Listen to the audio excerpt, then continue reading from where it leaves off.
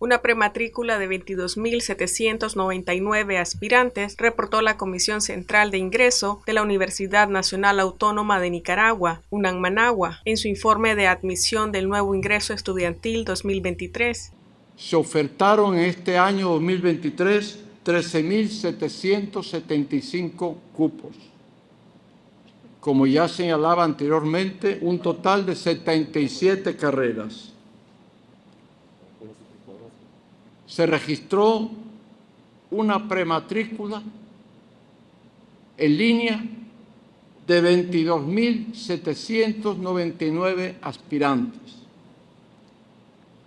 De ellos corresponden al sexo femenino 13.830 aspirantes, que corresponde al 60.66 del total de la prematrícula realizada. El número de estudiantes que optaron por distintas carreras provenientes de los colegios o centros estatales fue de 18.017, correspondiente correspondiendo a 79.03%. Medicina fue una de las carreras más demandadas.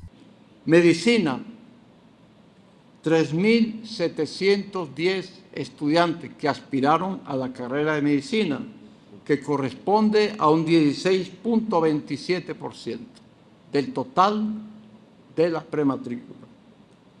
En segundo lugar, la carrera de Contaduría Pública y Finanzas, un total de 1.994, que corresponde al 8.75%. Como observan, hay casi un 8% de diferencia entre la primera y la segunda carrera. Y luego siguen por este orden la carrera de inglés, en cuarto lugar, la carrera de Administración de Empresas. En quinto lugar, Ingeniería en Sistemas de Información. Sexto, Enfermería. Séptimo, Odontología, con el 3.31%. Para Noticias 12, Gloria Campos.